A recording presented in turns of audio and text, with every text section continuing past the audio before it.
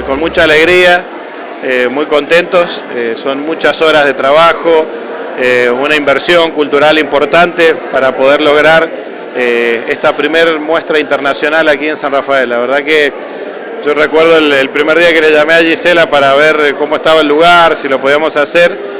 Me dice, vos me estás jodiendo si vamos a hacer Dalí.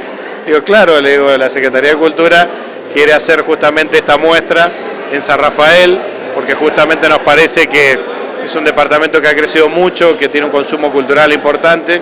Tenemos un lugar maravilloso, yo soy muy fanático del Centro de Congreso de Exposiciones, me encanta este lugar eh, y creo que hoy justamente nos permite con una inversión de los paneles móviles, las luces de LED, eh, las intervenciones que han tenido eh, en el piso, en los muros, poder disfrutar durante tres meses una muestra internacional que llega a Mendoza, pero se disfruta en San Rafael. Así que creo que eso para nosotros es importante, es un poco de lo que hablábamos cuando decíamos vamos a federalizar la cultura en Mendoza durante cuatro años, llevamos dos años y podemos hacer esta muestra que tiene que ver con muchas de las cosas que se vienen realizando en San Rafael. Así que por eso nosotros estamos contentos y yo agradecido también del ente de turismo con quienes podemos hacer realidad esta muestra aquí en San Rafael.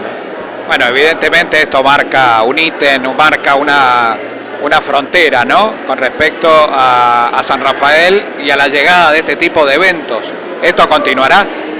Bueno, lo decía recién en la apertura, es la primera, ojalá que no sea la última.